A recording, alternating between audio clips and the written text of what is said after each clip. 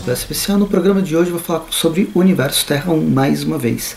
Já falei sobre ele, é o universo paralelo principal da DC atualmente, que teve a Trindade principalmente. Fez um vídeo sobre os três Superman, os dois Batman e dois Mulher Maravilha que tinha sido publicado até o momento.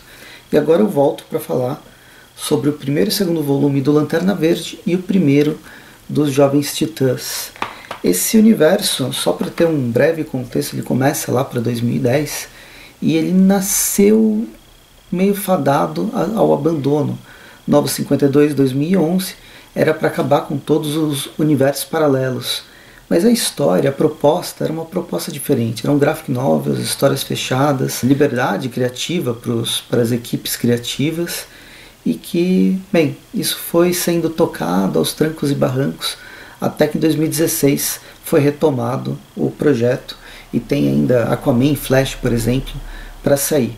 Bem, nesse momento, o que a gente tem publicado no Brasil até agora, além dessas é, três do Superman, duas da Mulher Maravilha e duas do Batman, que eu já fiz vídeo aqui, tem essa a primeira, os dois primeiros volumes do, do Jovens Titãs, só foram publicados dois, e esses dois primeiros do Lanterna Verde, que também só foram publicados dois, inclusive esse Lanterna, ele é lançamento agora de comecinho de outubro. Então tá, tá, tá bem quente o negócio. É, além deles, como eu disse, teve Aquaman e Flash que talvez saia, talvez não, tá meio nesse limbo. Mas tem Mulher Maravilha, o terceiro volume, e o Batman, o terceiro volume, também fechando essas trilogias. Não sei se vai dar continuidade depois, mas inicialmente com trilogias fechadas, que está para sair agora para o final do ano, lançado em 2021 no, nos Estados Unidos, né, no começo do ano, mas agora está para sair nesse finalzinho aqui no Brasil pela Panini. Mas eu volto para eles quando eles foram lançados. Eu vou começar com Justiça Jovens Titãs. Estou sempre falando Justiça Jovem na cabeça. Isso aqui é de 2014 e é o Jeff Lemire, né? Tem uma equipe criativa, o Terry Dodson, Ra Ra a Raquel Dodson, Ken Smith, Brian Anderson. E quando tem o Jeff Lemire, eu já vou com uma expectativa alta. Eu gosto do autor. Ele não me decepcionou nenhuma vez, tem altos e baixos, né? Mas os baixos dele são médios. E aí, vamos lá, vamos ler, mesmo com várias críticas negativas para esses Jovens Titãs. Enfim, eu li e realmente ele é bem, bem fraquinho e eu até entendo por que, que ele é fraquinho. Até então, o Terra 1 ele tinha uma proposta, ou pelo menos as histórias, elas tinham uma pegada talvez seja mais sombrio e realista no bom sentido, bem feito, com grandes autores. Mas o Jeff Lemire, quando vai para os Jovens Titãs, ele traz uma história que vai não é Jovens Titãs, meio que mescla, sem entrar necessariamente no, no roteiro, a gente vai acompanhar os principais protagonistas do, desse, desse grupo de jovens super-heróis. Eles estão todos na mesma escola descobrindo poderes. Então você já vê aquela temática de. Até aquela temática teenager de escola, meio de seriado. Lembrou um pouco Power Rangers, mas também tem pitadas tanto do Fugitivos da Marvel, né, dos quadrinhos do Fugitivos da Marvel, por causa do envolvimento com os pais, embora não sejam pais supervilões, os pais dessas crianças eles têm envolvimento com os poderes que estão sendo despertos nesse momento. E tem um pouco também daquele X-Men Evolution, não sei se vocês já assistiram, é uma animação bem legal do início dos anos 2000 dos X-Men e que mostra basicamente os X-Men indo para a escola. E é isso, essa é a proposta. A gente vai ver esses personagens que não são amigos, que vão começar a se, a se conhecer, porque eles têm uma coisa em comum, todos têm superpoderes.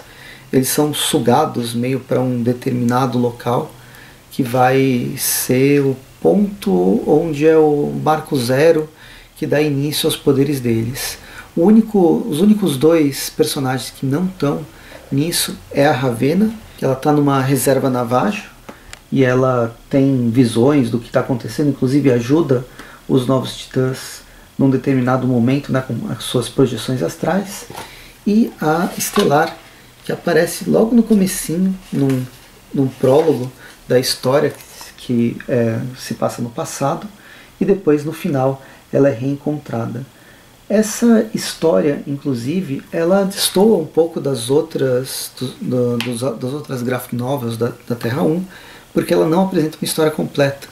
Ela termina com continua na próxima edição. Enfim, além desse, dessa história não terminada, dos vários clichês de histórias adolescentes e da mesmo da caracterização, né? Aqui eu mostrei um pouco dos desenhos, mas ela tem uma pegada bem cartunesca e enfim tudo toda essa somatória de elementos que destoam com o que a gente vinha vendo nos, no universo do Terra 1 soa tudo muito genérico e ao soar genérico eu entendo bastante o porquê que a galera não curtiu esse, essa, essa história. Eu também achei a mais fraquinha de todas. Em compensação, o Terra 1 do, do Gabriel Hardman com, Corina, com a Corina Beckham e o Jordan Boyd, essa daqui é bem legal. Bem, eu não gosto do Hal, do Hal Jordan, mas esse Hal Jordan ele é bastante interessante no próprio universo que foi criado para ele.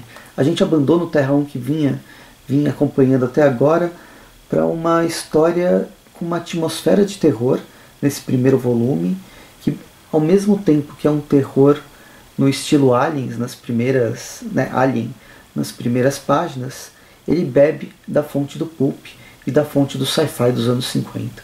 É uma mescla de vários elementos que a gente vai acompanhar os seres humanos no futuro próximo. Eles conseguiram é, fazer naves para conquistar pelo menos os, o espaço próximo deles. O Hal Jordan ele trabalha numa empresa que está fazendo mineração naqueles asteroides que tem um cinturão de asteroides entre Marte e Júpiter, e nesse local ele encontra uma nave espacial. E essa nave espacial tem um alienígena rosa, que tem uma, uma, um anel e uma bateria de energia, e isso vai transformar ele no Lanterna Verde, e a gente vai acompanhar essa primeira esse primeiro encadernado, né, que é um arco, uma história completa, mostrando o retorno dos Lanternas Verdes que de certa forma tem alguma semelhança com aquele retorno do Kyle Rainer né, no início, lá no meados dos anos 90, que foi a criação do personagem, mas tem também, mas toma caminhos próprios.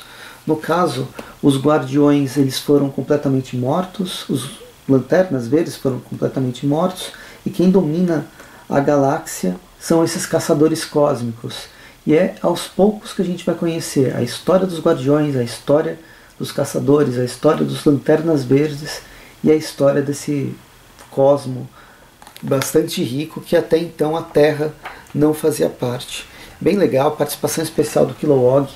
Não sei se participação especial, ele é praticamente um coadjuvante na história, bastante presente, e ele tem um papel fundamental nesse primeiro arco. Eu posso dizer que essa primeira edição eu gostei mais do que a segunda. Não que eu tenha desgostado da, da, da segunda edição, mas essa primeira eu leria com bastante tranquilidade, mais 140 páginas dessa busca pelos lanternas ao redor do planeta, ao, ao redor do cosmo, né, é, tentando é, recuperar esses pacificadores para enfrentar justamente os caçadores cósmicos que estão espalhados pela galáxia, levando a ordem de uma forma bastante violenta, da forma que eles conhecem, né? da forma que eles sabem fazer. Quando a gente, a gente chega no segundo volume, que foi lançado em 2020, a história avança três anos e a Terra, já por causa do Lanterna Verde, por causa dessas relações com alienígenas, ela faz seu primeiro contato diplomático com alienígenas reptilianos. E esses reptilianos eles são mal encarados, mas de certa forma são bonzinhos. O problema é que nessa primeira missão diplomática existe um, um atentado, e no atentado, bem, a Terra vira pivô de uma guerra cósmica e o Lanterna Verde Hal Jordan tem que tentar resolver a situação. Mas nessa, no meio dessa tentativa, a história vai mudar completamente, vai se, né, a lanterna vai se direcionar para outro lado que é o retorno de um dos, do último guardião, que cria os lanternas amarelos, que vieram para substituir os caçadores cósmicos e os lanternas verdes, mas sobre o domínio desse guardião cósmico. E, bem, a história vira uma guerra civil não sei se é uma guerra civil, mas uma guerra é, completamente aberta em vários planetas, dos lanternas amarelos contra os lanternas verdes, e o Hal Jordan tentando resolver a situação e salvar o planeta Terra no meio do, no meio do caminho. Então, uma história bem interessante, como eu disse, a primeira edição eu achei mais legal, mas essa daqui também está bem, tá muito bem feita. Acho que a construção de cenário, a construção desse universo de personagens, desse universo dos Lanternas Verdes, tá muito legal, tá muito bem feita e o planeta Terra ele começa a fazer parte cada vez mais da galáxia.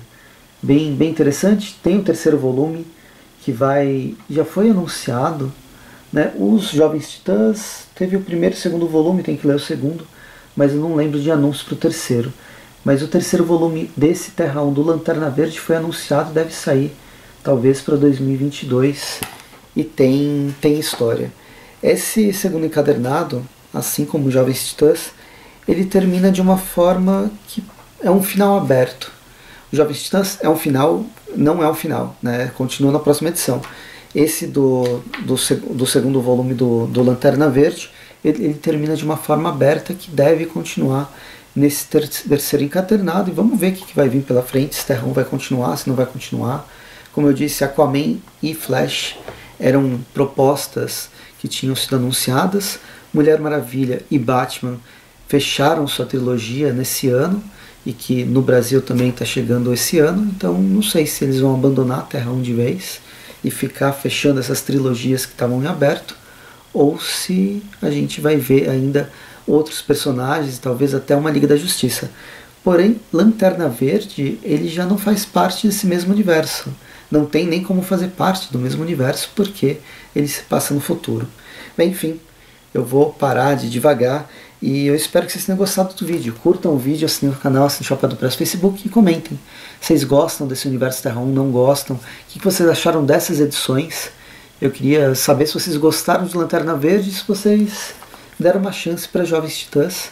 A gente conversa nos comentários, também curtam o vídeo, assinem o canal, compartilhem o vídeo. E siga no Instagram, arroba onde eu falo sobre filmes e séries todos os dias com resenhas novas. Tem também o podcast lá, o... Tem também Fortaleza Quântica, que é um podcast onde eu, Rafael e outros amigos a gente conversa sobre filmes, séries, quadrinhos, faz entrevistas, fala sobre games, fala sobre várias coisas, sempre com várias recomendações. São programas muito divertidos e de certa forma atemporais que vocês podem ver qualquer um deles, já tem vários no Spotify, no Courage e outros agregadores. E o link da Amazon, qualquer compra no link da Amazon ajuda muito o canal. E esses, essas revistas todas estão na Amazon, inclusive eu comprei por elas, porque é onde você consegue um preço um pouquinho mais camarada. Jovens Titãs, por exemplo, eu só comprei porque estava 26 reais, ele é 40 e pouco, estava com quase 50% de desconto. Eu já estava com o pé atrás, sabia que não era todo mundo estava falando mal da, da, revista, mesmo gostando de Jeff eu só fui comprar por causa dessa promoção e não me arrependo. Eu acho que por 26 não é uma história ruim, tão ruim assim. Tem várias histórias melhores pelo mesmo preço, mas enfim, não foi um arrependimento de nossa que lixo total. Porém, como eu disse, link da Amazon, qualquer compra no link da Amazon ajuda muito o canal do Presto e dá para até você arriscar algumas revistas que talvez não sejam tão boas assim, ou talvez várias pessoas ou ninguém está falando sobre elas com preços promocionais. Vou ficando por aqui, espero que tenha gostado. A gente se vê no próximo episódio. Até mais e bons quadrinhos.